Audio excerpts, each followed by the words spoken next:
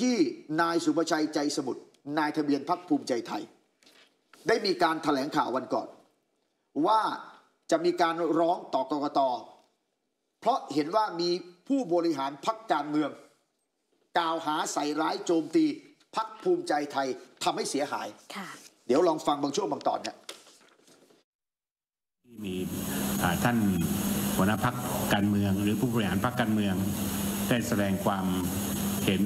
กรณีการย้ายพักของสมาชิกสภาผู้แทนราษฎรจากพักอื่นยกตัวอย่างเช่น กรณีเรื่องหัวหน้าพักเพื่อไทยหรือเลขาธิการพักเพื่อไทย มีการให้สัมภาษณ์ต่อสื่อมวลชน กรณีเรื่องของการย้ายพัก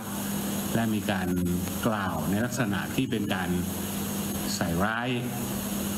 ต่อพักภูมิใจไทย